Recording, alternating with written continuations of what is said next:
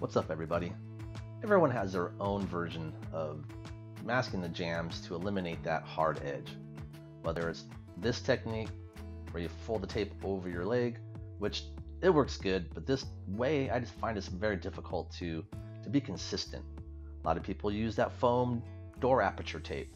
It still leaves a hard edge. I'm going to show you my technique. It's going to be a lot faster and more of a consistent fold. I like using American brand tape. I feel that it folds a lot easier than the other brands out there. Just create the fold in that crease in your index finger, press it with your thumb. Use your middle finger as a guide and your index finger on your other hand as almost a pre-folding guide. And just pull.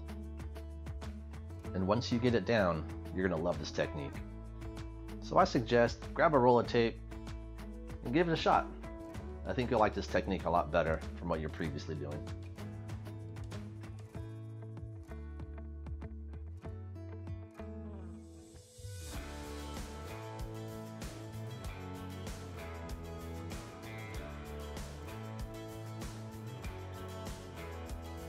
Alright guys, thanks for watching.